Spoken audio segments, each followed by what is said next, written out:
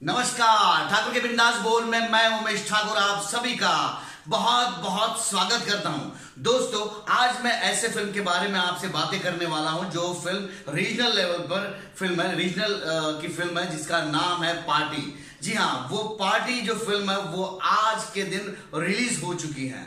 दोस्तों पार्टी होती है तो दोस्तों में बहुत ही मज़ा मस्ती होती है। जहाँ भी, जिस भी लैंग्वेज में आप जाते हो, जिस भी लोगों से, जो भी लोगों से आप मिलते हो तो पार्टी तो बनती है। अगर सेलिब्रेशन करना हो, कोई पास हुआ हो, कोई फेल हुआ हो, किसी प्रमोशन मिला हो, या किसी की शादी हुई हो तो पार्टी तो बनती है। ऐसी पार्टी का सब्जेक्ट लेकर ये मराठी में फ़िल्म बनी है, जिसका नाम है पार्टी अब ये पार्टी जो फ़िल्म है, इसके राइटर और डायरेक्टर जो है, यानी बेसिकली जो डायरेक्टर है, वो राइटर है। ओरिजिनलिटी और उनका नाम है सचिन दरेकर। जी हाँ सचिन दरेकर जो है, वो मराठी के एक बहुत ही जाने माने राइटर रहे हैं। उनकी चार पाँच फ़िल्में रिलीज़ हो चुकी हैं और बहुत ही अच्छे उम्दा चली हुई है फ़िल्म। अब जब राइटर की फ़िल्में चलने लगती है तो उसके सपने और बढ़ जाते हैं और वो सोचता है कि भाई चलो, क्यों ना मैं डायरेक्शन में आऊँ डायरेक्शन में उतरूं। तो ऐसी कुछ सोच उन्होंने भी रखी और ये जो सचिन दरेकर है, इन्होंने ये फ़िल्म डायरेक्ट की है। इनकी ये पहली debut film as a director है, जिसका नाम है पार्टी। अब पार्टी आएगी तो शोर शराबा, शराब, मज़ा, मस्ती तो आती रहती है। इसी टॉपिक को लेकर ये फ़िल्म बनी है। इस फ़िल्म में काम करने वाले जो कलाकार है, उनके नाम है सुश्री जोशी, अक्षय टाकसाने और प्राजक्ता माली, शिंदे और रोहित हल्दनकर और मंजरी। ये ऐसे जो यूथ कलाकार हैं, इनको लेकर ये फ़िल्म बनी है। इनमें जो रोहित हल्दनकर है, ये बेसिकली बहुत ही अच्छा लड़का है, ये स्ट्रगलर है और इसने इसका, इसकी जो शुरुआत की है करियर की स्टेज से की है थिएटर से की उसके बाद ये हिंदी थिएटर से भी जुड़े रहे हैं। बहुत अच्छा इनका मित्र वर्ग है और इनके दौरान उनको, इनके हेल्प से इनको ये फ़िल्म भी है, जिसके नाम है पार्टी पार्टी जो फ़िल्म है, इस पार्टी फ़िल्म के बारे में मैं आपको थोड़ा बताना चाहता हूँ। कि पार्टी जो फ़िल्म है, इसमें चार दोस्त हैं जो मज़ा मस्ती करते हैं, एक दूसरे के लिए जीते हैं और हर के सुख दुख में वो लोग रहते हैं।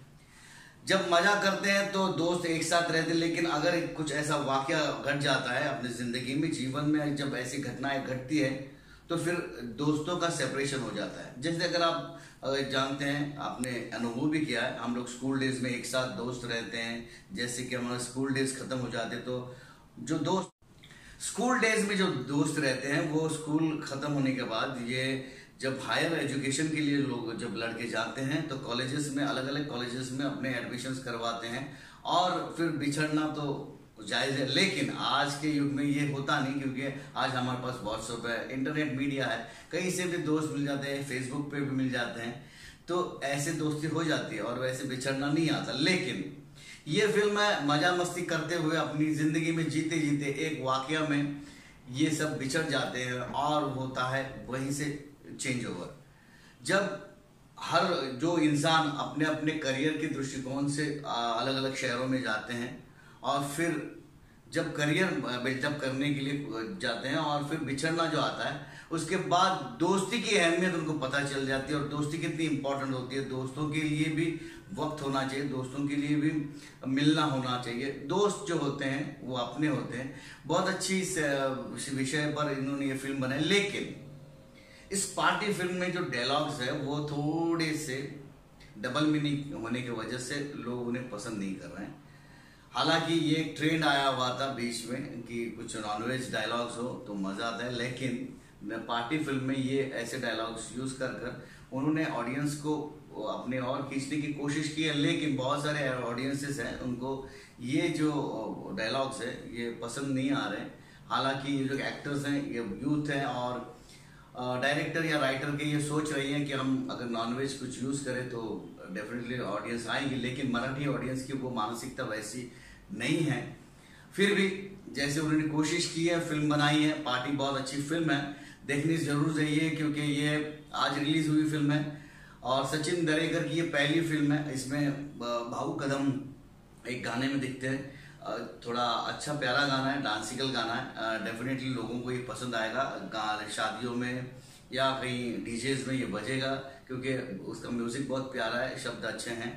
तो ये इस फ़िल्म की एक स्ट्रांग पोजीशन पे बाजू में है। तो देखते हैं। ये फ़िल्म ज़रूर देखिए, क्योंकि यूथ की फ़िल्म है यूथ के लिए है। इसमें से क्या लेना है और क्या छोड़ना है, ये आप पर निर्भर करता है। तो ज़रूर जाइए थिएटर में सिनेमाघरों में और देखिए ये फ़िल्म पार्टी अच्छी लगी तो पैसा वसूल होगा और नहीं अच्छी लगी, फिर भी फ़िल्म देखने जाइए। इसी के साथ मैं आपसे विदा चाहता हूँ। अगली फ़िल्म लेकर जल्दी आऊँगा। ठाकुर के बिंदास बोल में धन्यवाद।